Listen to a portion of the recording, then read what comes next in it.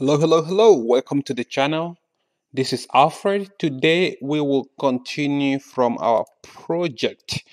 So here is, let me go ahead and open it. So this is our first name project that we have been building for the past couple series. All right, here we are.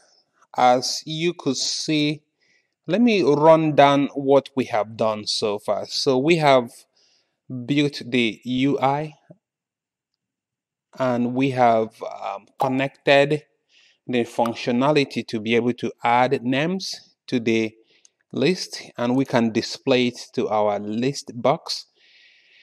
And we have all this UI hooked up which is really cool. So we have a lot of functionality. So as you type uh, you could see the letter here change.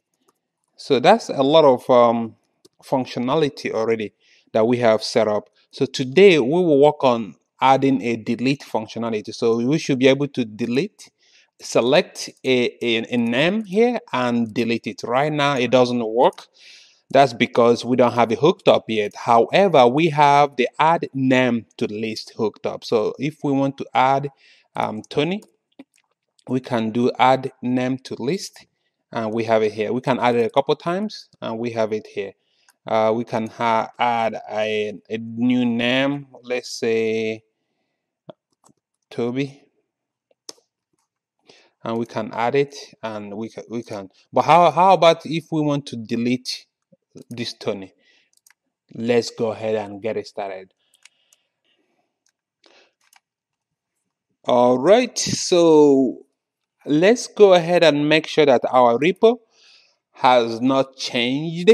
Nobody have um, staged anything in our repo. Let's go ahead and do a fetch request.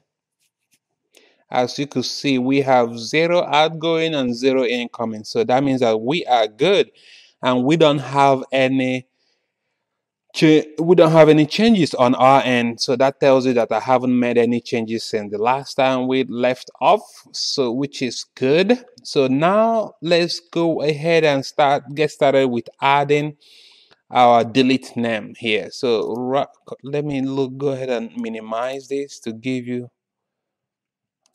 so we could see more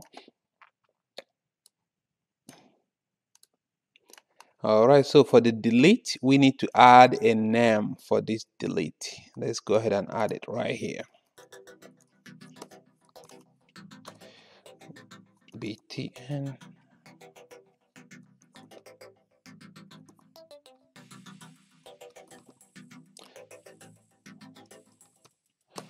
now we want to add a click event. So if i hit enter it will suggest i want to do a new event handler. Enter and I could go ahead and right click here and go to definition and it will automatically create an event for our delete button. So now we are ready to create our delete function. So remember all our names are being added to this observable collection list right? So we can go ahead and delete an item. So if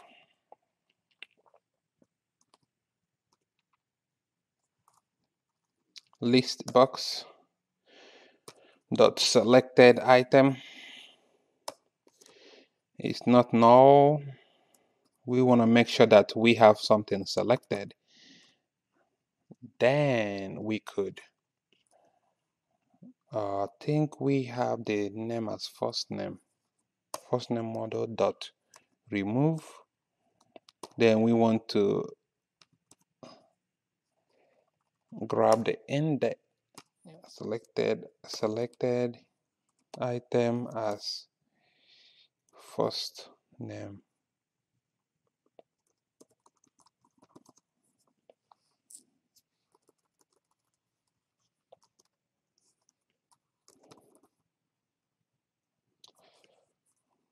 No, that would be name model. I forgot that I changed our model name to to names. It should be names, right? It should be name models. Let, let's check that. So right here, this is names model. So we need it to be names model. here we go all right so that looks pretty good so that's pretty much it so now let's go ahead and run the application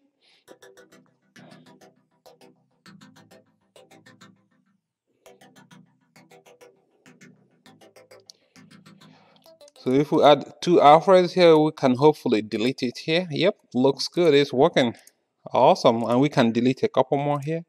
Delete a couple more here. Delete a couple more here. And add Alfred and add um, Ada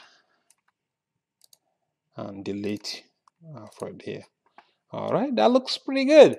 So we are having a lot of functions already let's go back here i think i think i want to all right so that's pretty much i i didn't want to do a little bit too much on this video if i go to the next step which will be which will be saving to file then this video is gonna get way too long. I don't, don't want to do that. So let's go ahead and close out the video here.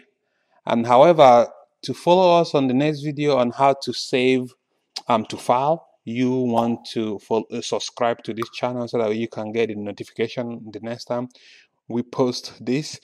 And um, hope you enjoyed it and have a wonderful day talk to you later. Bye bye oh wait before i sign out let's go ahead and commit these changes.